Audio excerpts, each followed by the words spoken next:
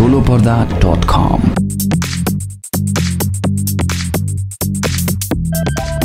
अठारवटा भन्दा बढी अन्तर्राष्ट्रिय चलचित्र महोत्सवमा नोमिनेसनमा परेको नेपाली चलचित्र कालोपोथीको चर्चा पछिल्लो समयमा निकै छ। यो अहिले पनि नेपाली हलहरूमा चलिरहेको छ। मिन बहादुर भामले निर्देशन गरेको यो चलचित्र निकै चर्चित हुनुमा यसले विदेशबाट ठुलो लगानी भित्र्याउनु र विभिन्न अन्तर्राष्ट्रिय फिल्म फेस्टिभलमा चर्चामा रहनु साथै मुगु जिल्लाको टिपिकल भाषामा सामान्य तवरबाट ठुलो क्यानाभास उठाइनु नै हो। यति बेला यो चलचित्रको चर्चा भइरहँदा माई संसार नामक ब्लग साइटले यो चलचित्रका पन्ध्रवटा गल्तीहरू औल्याएको छ। सालोक्यद्वारा लेखिएको यो लेखको शीर्षक राखिएको छ सेतो कुखुरालाई रङ लगाउँदैमा पोथी कालो हुँदैन कालो पोथीका पन्ध्र सिल्ली मिस्टेक। लेखाइ सुरु गरिएको छ यसरी मिनबहादुर भामको निर्देशनमा बनेको फिल्म कालो पोथी अहिले चर्चित छ। यो फिल्म नहेरे सोसाइटीमै परिन्न कि जस्तो गरेर प्रचार भएको हुनाले मध्यम र उच्च वर्गका लागि स्ट्याटस सिम्बल बनेको छ। यो फिल्मको दर्शक बनेको घोषणा हुनु र राम्रो छ भन्नु। र त फिल्म चौथो सातामा पनि मल्टिप्लेक्समा शानदार व्यापार गरिरहेको छ। फरक धारको फिल्म भएर पनि व्यावसायिक सफलता यसले हासिल गरेको छ। लेखकले पछिल्लो समयमा यो चलचित्र हेरेको र यो चलचित्र हेर्न उल्लेख्य रूपमा दर्शक अहिले पनि हलमा पुगिरहेको उनले लेखेका छन्। उनले यो चलचित्रका केही सिल्ली मिस्टेकको बारेमा चर्चा गर्दैछु जसबारे अलि ध्यान दिएको भए यो अझै राम्रो फिल्म बन्ने थियो भनेर यसरी गल्तीहरू छुट्याएका छन्। नम्बर एक माओवादीको सैनिक दस्ता। माओवादी जनयुद्धको पहिलो शान्ति वार्ताको समयलाई आधार मानेर बनाइएको फिचर फिल्म हो कालोपोथी तर यसको कथावस्तु निकै काल्पनिक जस्ता लाग्छन्। जस्तो कि काठमाडौँमा शान्ति वार्ता चलिरहेको हुन्छ मुगुको कार्कीबाडामा माओवादी सेना ड्रेसमा मार्चपास गरिरहेका हुन्छन्। कथाकार एवं निर्देशकले यति कुरा पनि ख्याल गरेनन् कि त्यो बेला माओवादीको जनसेना बनिसकेको थिएन। त्यो बेला अनुहार छोपेको छापामार दस्ताको हैसियतमा मात्र थियो माओवादी। जबकि फिल्ममा गम्बुट लगाइएको सेना देखाइन्छ जुन सरासर रियालिटी भन्दा फरक हो। नम्बर दुई माओवादीको चुनाव चिन्ह गमगढीमा। फिल्म सुरु हुँदा सन् दुई हजार एक अर्थात् दुई हजार अन्ठाउन्न सालको मुगु भनेर पर्दामै देखाइन्छ र पर्दामा गमगढी जाने बाटो देखाइएको बोर्ड देखाइन्छ। तर त्यही बोर्डसँगै एउटा सङ्केत चिन्ह पनि हुन्छ। गोलाकारभित्र हँसिया र हथौडा जुन अहिलेको प्रचण्ड नेतृत्वको माओवादीको चुनाव चिन्ह हो। माओवादीले यो चिन्ह संविधान सभाको निर्वाचन अर्थात् दुई हजार चौसठी चैत्र अठाइस गते हुनुअघि प्रचारका क्रममा उपयोग गरेका थिए। जनयुद्धभर उनीहरूले यस्तो चिन्ह चलाएका थिएनन्। त्यसैले दुई हजार अन्ठाउन्न सालको मुगुमा त्यस्तो चिन्ह हुनै सक्दैन। नम्बर तिन गाउँ गाउँबाट उठ गीत। नेकपा माओवादीले दस वर्षे जनयुद्धमा कालोपति फिल्ममा देखाइएको जस्तो गाउँ गाउँबाट उठ बस्ती बस्तीबाट उठ भन्ने गीत कहिले प्रयोग गरेनन्। बरु उनीहरूका आफ्नै जनवादी गीत थिए। कर्णालीमा त्यो बेला त्यहाँकै देउडालाई जनवादी बनाएर अभियान चलाइन्थ्यो। जस्तो कि भेरी कर्णालीका छाल सुक्दैन सिस्ने हिमाल लाल किल्ला बन्दैछ भेरी र कर्णालीतिर आदि। तर फिल्ममा अनावश्यक रूपमा यो गीत प्रयोग गरिएको आभास हुन्छ। यो गीत गाउँदै गर्दा पछाडि ब्यानरमा नेकपा माओवादी पश्चिमाञ्चल लेखिएको देखिन्छ जबकि माओवादीहरूले कहिले पनि यसरी पश्चिमाञ्चल लेखिएको ब्यानर प्रयोग गरेनन्।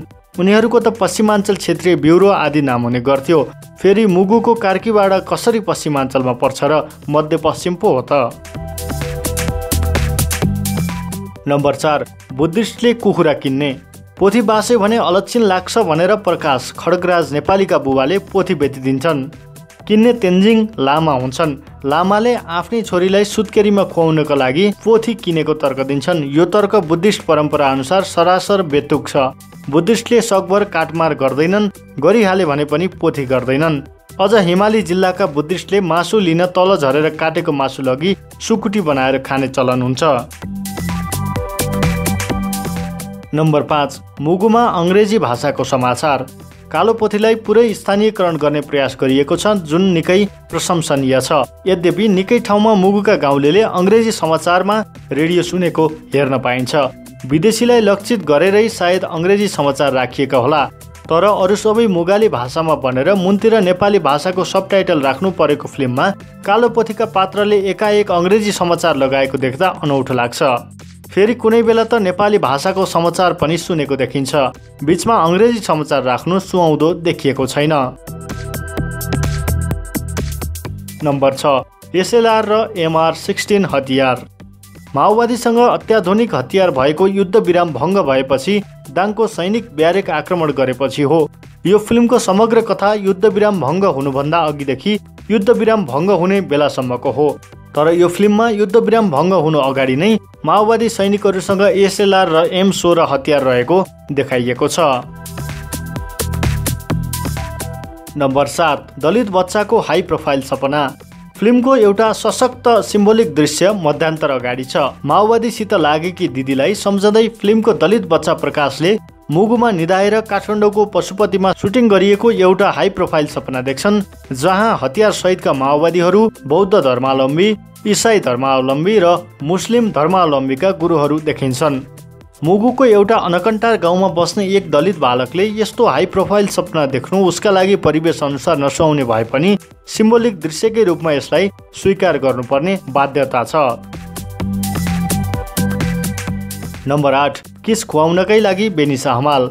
फिल्ममा एक शिक्षिका छिन् जसको भूमिका काठमाडौँबाट लगिएकी कलाकार बेनिसा हमालले गरेकी छन्। उनको काम बिहे हुन लागेको मेजर पात्रसँग एक डेढ मिनटको दृश्यमा किस खानु बाहेक अन्य छैन। स्थानीयपन दिइएको यो फिल्ममा केटा र केटीले यौन उन्मत्त भई किसिङ गरेको सिन अस्वाभाविक मात्रै छैन नभई नहुने खालको पनि होइन। नम्बर नौ खस बस्तीको कथामा तिब्बतियन कुरा।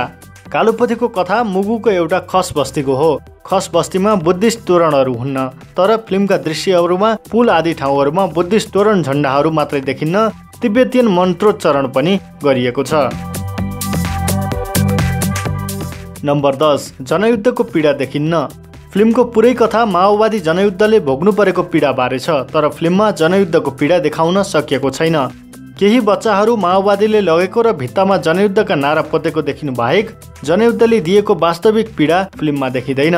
दर्शकले फिल पनि गर्दैनन्। यहाँसम्म कि माओवादीले सेनाका मेजरलाई अपहरण गरेको दृश्य समेत एकदम सहज कुहुरा उठाएर लगे जस्तो गरी देखाइएको छ। नम्बर एघार। युद्ध विरामको समय। फिल्ममा माओवादीले युद्ध विराम भङ्ग गरे भन्दै प्रहरी गाउँ पसेर प्रकाश र उसका बुबालाई माओवादी बनेकी दिदीको बारेमा सोध्छन्। प्रकाशले दसैँमा आउँछु भनेर भनेकी छ भन्ने जवाफ दिन्छ। त्यसपछि प्रहरीले दसैँमा लिएर चौकीमा हाजिर हुनु नत्र भनेर धम्काउँछन् यहाँनिर पनि धेरै ध्यान दिएको भए यति सिल्ली मिस्टेक हुँदैन थियो। माओवादीले शान्ति वार्ताका लागि गरेको युद्ध विराम भङ्ग गरेको दुई हजार अन्ठाउन्नको मङ्सिरमा हो अर्थात् दसैँपछि। नम्बर बाह्र शान्ति वार्ता हुँदै मेजरको अपहरण। दस वर्षे जनयुद्धमा तत्कालीन नेकपा माओवादीले दुई हजार अन्ठाउन्न साल मङ्सिर आठ गते आकस्मिक रूपमा तत्कालीन साई नेपाली सेनाको दाङ स्थित ब्यारेकमा हमला गरेपछि मात्र सेनासँग आम सेनाले युद्ध गर्न थालेको हो। त्यसअघि माओवादीले सेनालाई जहिले मित्र शक्तिको रूपमा वक्तव्य दिइरह्यो त्यो कुरा उनीहरूले व्यवहारमै पनि लागू गरेका थिए। जस्तो कि त्यसअघि माओवादीले कुनै पनि गतिविधि सेनाका परिवार बहालवालासँग कहिल्यै अपहरण गरेनन्। त्यसैको परिणाम हो दुई हजार सन्ताउन्न सालको दुनै आक्रमणमा कर्णाली पारीको ब्यारेकले सारा सदरमुकाम ध्वस्त हुँदा पनि प्रहरीलाई सहायता समेत गरेनन्। त्यसैले त त्यति बेला दरबारले नै माओवादीलाई सहयोग गरेको आरोप समेत लगाइयो तर कालो पोथीमा शान्ति प्रक्रियामै सेनाको मेजरलाई अपहरण गरेको देखाइन्छ अनि हत्या गरेको पनि देखाइन्छ। त्यो कुरा वस्तुपरक सत्य होइन।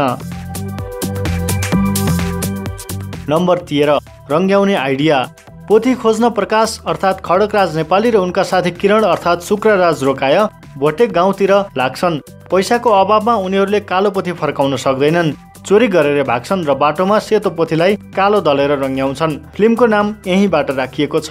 वास्तवमा यस्तै रङ्ग्याउने आइडिया कुनै बेला दसैँ नामक सिरियलमा हरिवंश आचार्य र मदन किशोर श्रेष्ठले प्रयोग गरेका थिए। फरक यति छ कि मह जोडीले सेतो खसीलाई कालो बनाएका थिए। कालो पोथीमा सेतो कुखुरालाई कालो बनाइएको छ। नम्बर चौध विस्थापित दृश्य। फिल्मको अन्त्यतिर माओवादी जनयुद्धका कारण हजारौँ मानिस विस्थापित भएको दृश्य देखाइन्छ। यथार्थमा माओवादी जनयुद्धका कारण हिमाली जिल्लाका भोटे बस्ती कहिल्यै विस्थापित हुनु परेन। यथार्थमा नेकपा माओवादीले जनयुद्धको दस वर्ष इतिहासमा सुरुमा मध्य पहाडी र बैसठी जिल्लाको आन्दोलनपछि उनीहरूले तराई सहर सडक र राजधानी केन्द्रित गतिविधिमा जोड दिएका थिए। यथार्थमा माओवादीले हिमाली गाउँलाई जहिले सुरक्षित सेल्टरका रूपमा उपयोग गरेका थिए त्यहाँ आतंक फैलाएनन्।